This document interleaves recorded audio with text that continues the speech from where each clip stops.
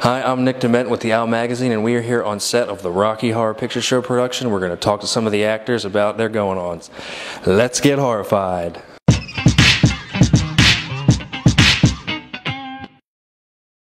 So it's just a jump to the left and then a step to the right. Put your hands on your hips and bring your knees in tight. Then it's a pelvic thrust that really drives you insane. Let's do the time warp again. All right, hi, I'm Nick with the uh, Owl Magazine, and uh, you're the director, right? What's your name? Hi, Nick. I'm Ben Fissler, Associate Professor of Theater here at Harford Community College. Let loose and go a little crazy for an evening. That's basically the idea behind the both Rocky Horror Picture Show and its sort of cult following. It's uh, Dr. Frank's creation. Okay, and uh, do you enjoy playing him? Look. Yeah, it's going to be fun. to be interesting.